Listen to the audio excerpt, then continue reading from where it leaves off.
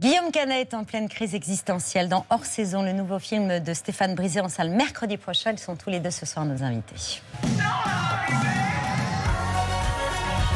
Hello Guillaume, salut Stéphane. Bonjour messieurs. On est ravis de parler avec vous de ce film doux, subtil, touchant, drôle aussi, et qui prend son temps au rythme de la musique de Vincent Delerme, et à la manière du héros d'ailleurs, qui décide de- d'appuyer sur la touche pause pour faire le point, pour s'isoler, voire se confiner. Et c'est l'idée de départ, Stéphane, euh, une idée qui est née du confinement? Euh, je pense que le moment du confinement a participé à ça, parce que le moment du confinement, notre mouvement à tous s'est arrêté. En fait, on nous a dit stop, et je pense qu'on est des êtres de mouvement, et je pense que ce mouvement, il est là aussi pour nous, éviter de regarder les choses en face. Donc ça a participé à ça. Il y a eu plein d'autres choses qui ont participé à ça. Mais à un moment, quand j'ai frappé à la porte de Marie Drucker, qui, qui est la co-scénariste du film, je lui ai dit, écoute, voilà, un homme, une femme, ils se sont aimés, ils se sont séparés, ils se retrouvent 15 ans plus tard une station balnéaire hors saison. Et euh, voilà, on parle là-dessus. Et le mec va pas très bien. Le mec va pas très bien. Une chanson de Delerme.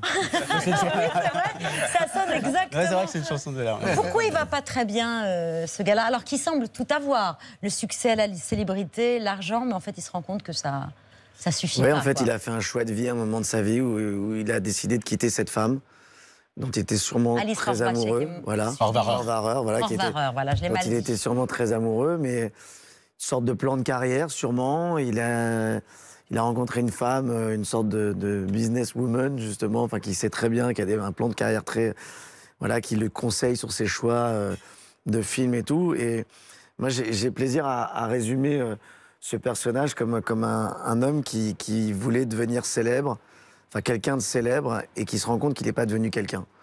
Et, et en fait, qui se prend ça dans la gueule, en fait. Et quand il va retrouver cette femme 15 ans plus tard, après, en, étant allé au bout de ce chemin, c'est ce que je trouve très beau dans le film, c'est de montrer que même quand on se trompe de chemin dans sa vie, euh, bah, c'est intéressant quand même de s'arrêter, de se regarder autour de soi, et au lieu de regretter d'avoir s'être trompé de chemin, c'est de se dire, OK, je suis pas là par hasard, j'apprends quelque chose. Et je pense que cet homme, il apprend quelque chose de, ce, de cette perdition, en fait. Est-ce qu'il apprend pas à redevenir courageux au contact de cette femme très courageuse Je crois que c'est un peu ce que vous dites. Ah, c'est ça, ouais.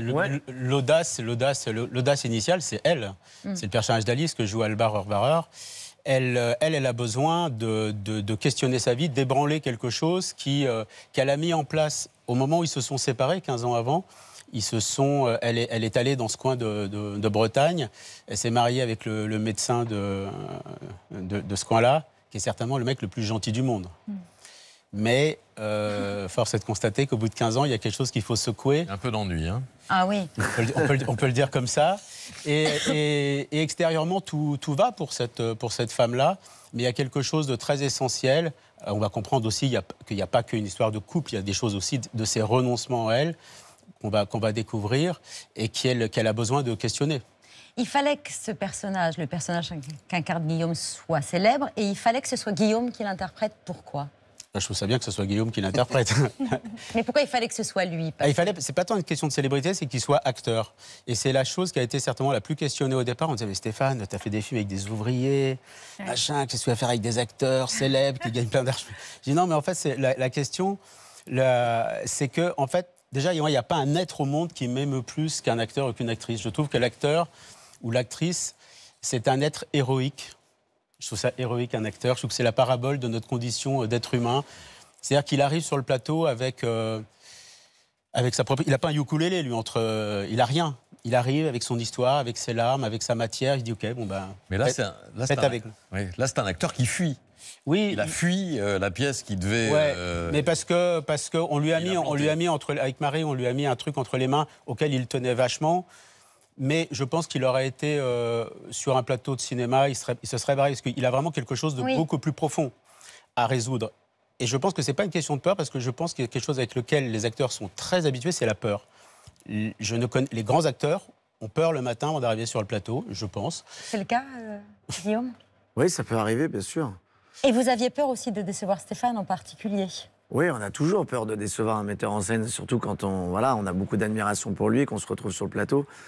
Euh, ce qu'il a projeté euh, en soi, on a envie, euh, en arrivant sur le plateau, qu'il soit pas déçu. Quoi. Donc les premières heures sont toujours un peu euh, à regarder, à voir s'il est content. Mais, euh, mais voilà, c'était formidable. Et puis, et puis euh, Stéphane n'est pas. n'est pas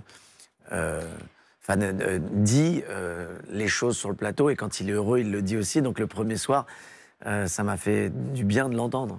Euh, Stéphane qui voulait que ce soit vous qui incarniez ce héros parce qu'il dit que vous avez un- un- une mélancolie euh, en vous as- assez singulière, mais aussi un potentiel comique qui s'exprime dans Hors saison. On rit de vous voir perdu, seul, dans cette station balnéaire déserte, errant dans les couloirs en peignoir de bain, luttant pour faire fonctionner une machine à café, atterré quand un prof de gymnastique vous demande ce que vous faites dans la vie, vous comprenez pas, c'est la question qu'on ne vous pose jamais, parce que tout le monde forcément vous connaît, Euh, et, et inversement fatigué quand, vous- quand on vous demande de faire des selfies au moment les moins opportuns.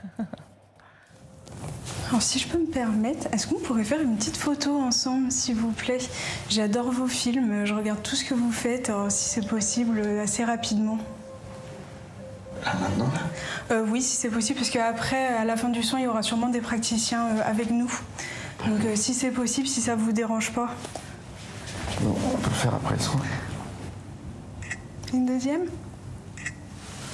Merci beaucoup. Gynéco, euh, Pardon. C'est pas moi qui étais chez le gynéco. Non, mais se retrouver en slip pour faire des photos, ça, ça, c'est votre quotidien, Guillaume. Enfin, presque. Ouais, non, ça m'est arrivé de me retrouver dans des situations assez, euh, assez absurdes comme ça. Il fallait avoir l'autodérision pour tourner ces scènes-là, notamment quand on le voit sans arrêt, euh, quand on vous voit Guillaume avec de la boue sur le visage, avec des trucs qui gonflent les jambes. Enfin, Ah non, je pense que c'est pas si simple. Je pense que tous les acteurs sont pas si à l'aise que ça avec, euh, avec euh, l'autodérision. Guillaume, il est, il est très à l'aise euh, avec ça. Votre personnage, en tout cas, il est marié avec une présentatrice star du 20h. On ne la voit jamais, mais on l'entend à un moment, c'est Marie Drucker, euh, la Il est co-scénariste. formidable. Ah oui. Ouais. Elle remet bien, en tout cas, à un moment, elle vous remet bien en place, sous-entendu quand vous l'appelez, que vous vous plaignez là, de, de votre tristesse et votre Ouais. nostalgie. Sous-entendu, tes problèmes de riche, ça va, euh, tu vas te calmer, etc. Mais être une star, avoir de la nostalgie, partager même la vie d'une star, c'est votre quotidien, un quotidien qui parfois peut donner lieu à des scènes un peu euh, insolites et des voyages en voiture, par exemple, que vous avez filmés.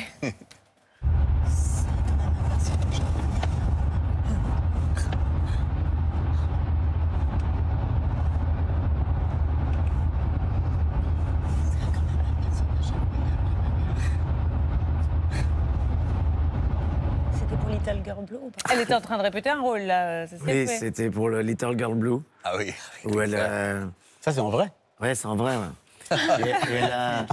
Et elle a. Vous voyez que quand vous voyez rock'n'roll, c'était pas si loin. hein. C'est rock'n'roll. Mais, mais euh, ouais, ouais, et c'est vrai que euh, elle est formidable d'ailleurs dans ce film. Oui. Et voilà, ça c'est les coulisses du travail quand elle reprend la voix et elle essaye de parler exactement comme la mère de Mona HH. Et euh, voilà, voilà. Les coulisses d'une vie, mais vous Voilà aspirez quand même à une vie normale. Il y a ça, mais il y a aussi les enfants que vous allez chercher tous les matins à l'école. quoi. Oui, oui, j'ai une vie normale. Le matin, il, le matin, il les emmène à l'école. Ouais. Ah, Il va pas les chercher. Ah oui, il, a une vie, pardon. il a une vie Pardon, normale. il a c'est une vie moi, normale. je- Parce que j'ai l'habitude. Oui, les enfants de Guillaume Canet vont à l'école la nuit. Ouais, Ouais, c'est ça. le matin, il va les chercher. Pardon, c'est une école merci un peu spéciale.